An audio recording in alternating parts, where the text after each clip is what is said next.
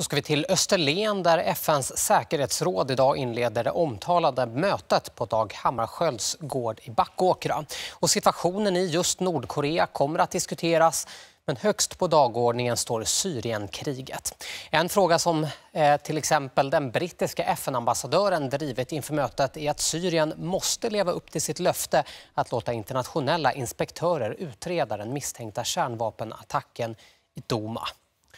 Rolf Porseryd finns på plats i Backåkra. Rolf, eh, kan man vänta sig något resultat av det här mötet?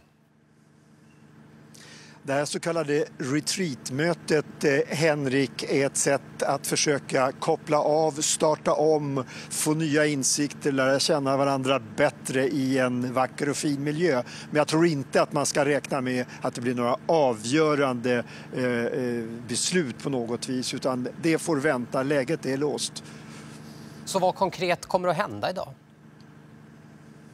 Ja, man kommer att förstås att diskutera både Nordkorea, man kommer att diskutera Syrien som är den stora och viktiga frågan förstås, där positionerna har varit så låsta och där säkerhetsrådet, där har lagts in så många veton i säkerhetsrådet. Eh, man hoppas förstås med, som jag var inne på lite tidigare, att man kan starta om och tänka om. Men jag tror att man ska se det här mer som en markering att man vill försöka eh, komma vidare i de här mycket svåra frågorna.